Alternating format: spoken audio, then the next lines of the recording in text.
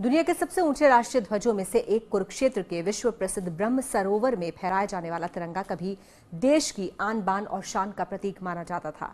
इस विशाल काय ध्वज दंड की स्थापना तिरंगे को जन जन के हाथों में पहुँचाने वाले पूर्व सांसद श्री नवीन जिंदल की कोशिशों से मुमकिन हुई थी, लेकिन कुरुक्षेत्र विकास बोर्ड की सुस्ती के चलते अब वहाँ आम दिनों में तिरंगा फहराना गुजरे जमाने की बात हो गई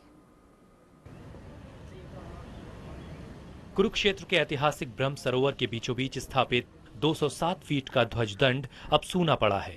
कुरुक्षेत्र विकास बोर्ड दुनिया के सबसे ऊँचे ध्वज दंडों में से एक इस दंड पर तिरंगा फहराने में नाकाम साबित हो रहा है। बोर्ड की इस उदासीनता से यहाँ आने वाले टूरिस्ट और श्रद्धालुओं के साथ साथ यहाँ के लोगों को भी मायूसी हो रही है। तीर्थयात्री और श्रद्धालु और टूरिस्ट यहाँ पर आते हैं, वो इस पोल को देखते हैं तो हमारे से सवाल करते हैं कि ये क्या है? हम बताते हैं कि यहाँ पर सबसे ऊँचा राष्ट्रीय ध्वज यहाँ पर नवीन जिंदल द्वारा फहराया गया था, जो वर्तमान में कुरुक्षेत्र विकास बोर्ड के द्वारा संचालित किया जाता है। परंतु ये ध्वज यहाँ पर नहीं फहराया जा रहा है।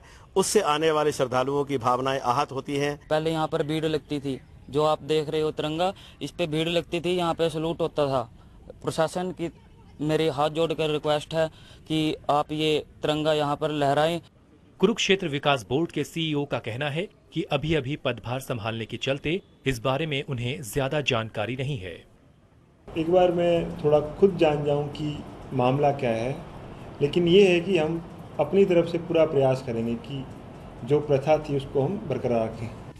तत्कालीन क्षेत्रीय सांसद और फ्लैग फाउंडेशन ऑफ़ इंडिया के अध्यक्ष श्री नवीन जिंदल की पहल पर 8 फरवरी 2011 को कुरुक्षेत्र के ब्रह्म सरोवर के बीचों बीच इस विशाल काय ध्वज दंड पर तिरंगा फहराया गया था, जिसे बाद में कुरुक्षेत्र विकास बोर्ड के सुपुर्द कर दिया गया। देश भर से लोग यहाँ आकर तिरंगे को सलाम करने में फक्र महसूस किया करते थे।